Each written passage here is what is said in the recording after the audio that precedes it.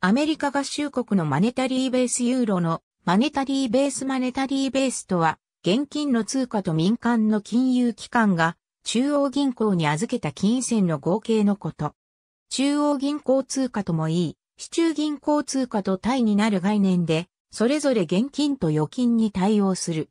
地域や分野によっては、ベースマネー、ハイパワードマネーや、それを翻訳した協力通貨、貢献貨幣とも呼ばれる。日本の場合、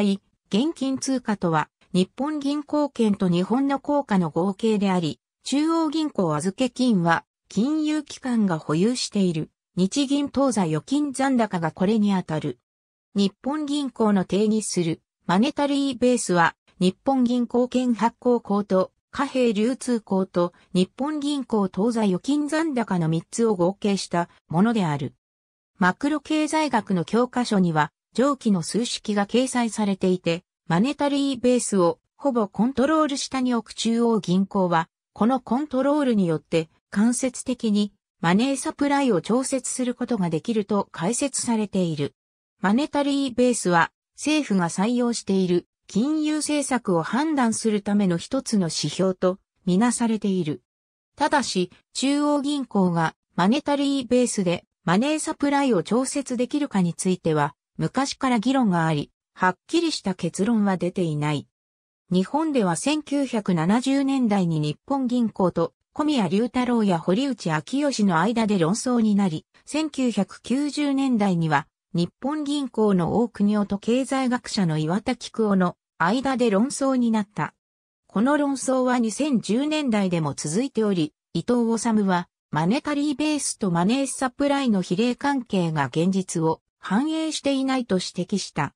マネーサプライはベースマネーの何倍かになるという信用上数論は初級教科書の説明であって、現実はそうならない。日本のバブル期においても、投機によってマネーへの需要が増え、それに応じる形で銀行貸し出しが増えて、必要になったベースマネーを日銀が供給し支えたという関係であった。バブル崩壊後もベースマネーを増やしてもマネーサプライは増えなかったという事実がある。伊藤治2003年4月から2019年3月までの日本銀行発表のマネタリーベースとマネーサプライの推移。青色はマネタリーベース平均残高で、薄緑色は M3、平、マネーストック。例えば、日本銀行はマネタリーベースを2012年11月の124兆4449億円から2014年11月の259兆3603億円へと約2.1倍へと増やしたが、マネーサプライは1126兆3838億円から1199兆6857億円へと6.5%しか増えていない。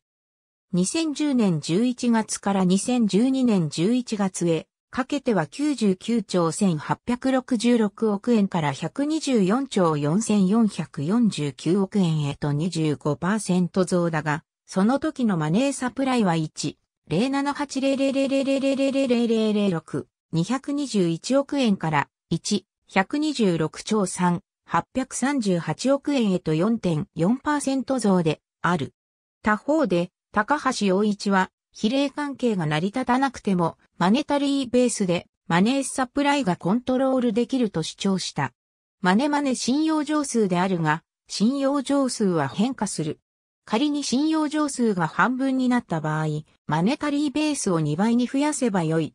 高橋洋一経済学者の原田康氏は、政策金利とマネタリーベースマネーサプライが連動すると論じた。1980年末、日銀による金利引き下げが急激なマネタリーベースマネーサプライの急上昇をもたらし、1989年以降の金利引き上げがマネタリーベースマネーサプライの急減をもたらした原田康また、原田は物価とマネタリーベースの関係についても指摘した。物価とマネタリーベースは同じ動きをしている。2000から2007年ではジンバブエのマネタリーベースは130万倍なのに、対し、インフレ率は5倍の650万倍となっている。一方で、チャドのマネタリーベースは2.8倍なのに対し、インフレ率は約半分の1.2倍となっている。マネタリーベースの伸び率が両国のインフレ率の違いを生み出した原田康ありがとうございます。